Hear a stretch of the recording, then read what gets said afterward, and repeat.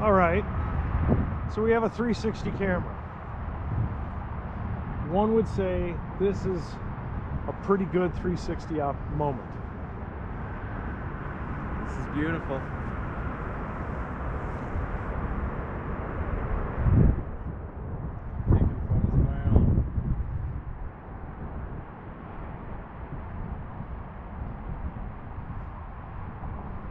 It's just a great day for this.